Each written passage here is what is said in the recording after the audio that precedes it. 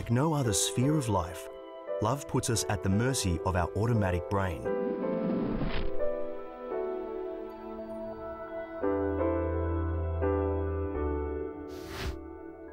The decisions we make are not driven by any conscious thoughts.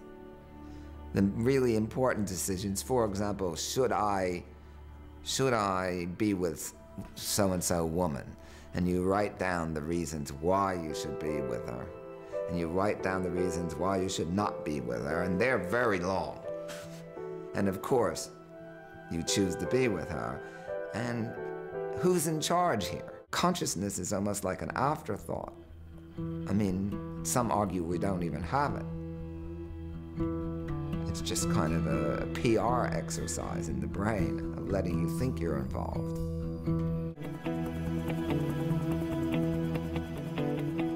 Sydney in Australia, adopted home of American neurobiologist Allan Snyder. If you know the city, these pictures are triggering off a chain of associations in your head. You don't just see the aerial images, you see what you know. And even if you've never been to Sydney, maybe you're thinking of Crocodile Dundee, the Olympic Games, or the Opera House. Allan Snyder is an expert on all kinds of expectations in our heads.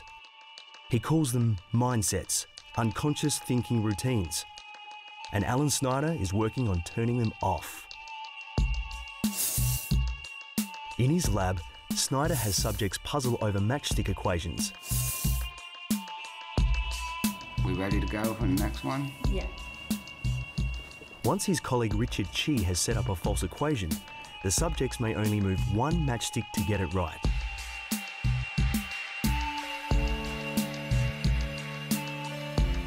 Each subject must solve 27 equations, and except for the last one, each solution follows the same principle. So, why don't you join in?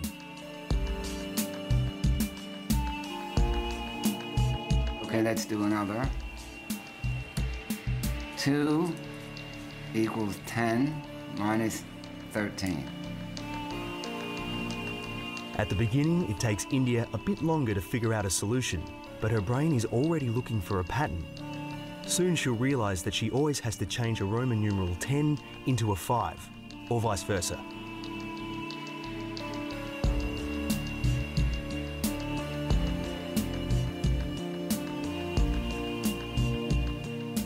Having learned the trick, India will fail in the last round.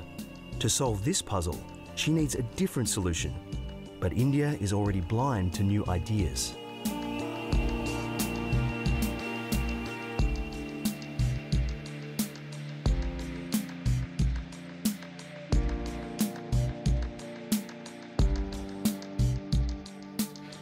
This one's a bit trickier. Well, keep trying. You have what long? Six minutes to, to get it. Still only one matchstick. Yep, still only one matchstick on either side of the equation. Snyder believes that being an expert may also keep us from being creative. But he's discovered a way to undo the process. Isn't that fascinating that we're going to enhance creativity, not by exciting part of the brain, but by turning part of the brain off? India's head is being measured and then treated to five minutes of electrical impulses. The impulses are supposed to turn off a particular area in the left temporal lobe while stimulating the right lobe at the same time. If everything works out, India will be able to solve the equation afterwards.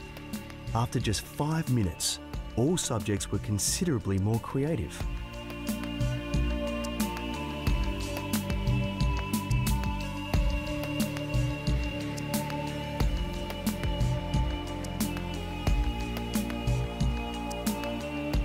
The idea of an artificial mechanism, be it pharmaceutical or electromagnetic or whatever, yes, I think that is something that that we will have in 20 years. Yes, I think that is very conceivable.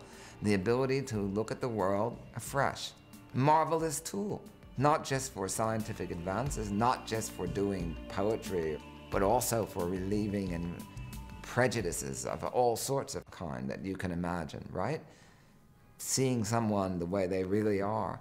One of the best examples of looking at the world through your mindsets is looking at our memories. Our memories are not literal, they're reconstructed to fit a, a story. But Snyder wants to turn off our memories. Join the game. Tom, we're going to show you a number of objects on the screen, 12 of them, and then we're going to ask you if you've seen them before. So Richard's going to start the test now.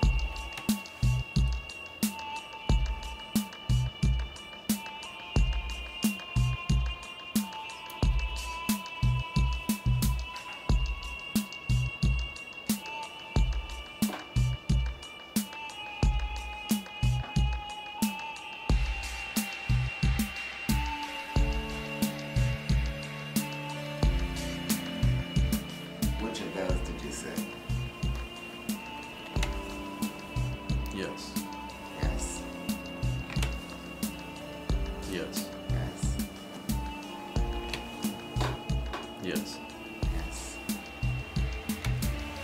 No. No. No. All subjects quickly find the pattern, yet they become blind to details, just like Tom. To switch off the unconscious filters that prevent him from seeing the world as it is, Allan Snyder and Richard Chi will paralyse Tom's left temporal lobe with electrical impulses.